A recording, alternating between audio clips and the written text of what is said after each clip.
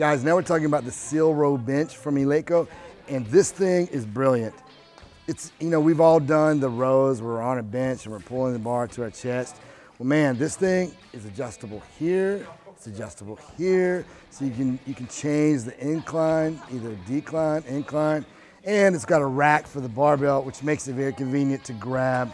So this thing is also, it's got an anti-impact cushion so it doesn't mess up your bars. Because if you're using Eleiko bars, last thing you want to do is mess these bars up, yeah. right?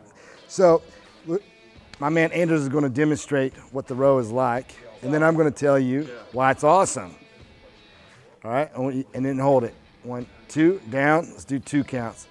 The reason why we're doing a pause is we're really trying to incorporate the rhomboids down because we really want to get some scapular retraction and stability.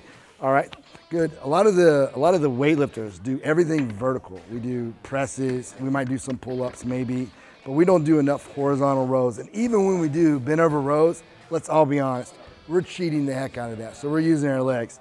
This isolates the lats, the rhomboids, helps the scapula stay in place. Because let me tell you this, if the scapula goes, so does the rest of the spine. And then you're gonna start getting that flexion in the spine. Everything is ruined. If you're doing snatch, cleans, squats, and you're starting to get flexion in the spine, it's a wrap. You're not gonna do it.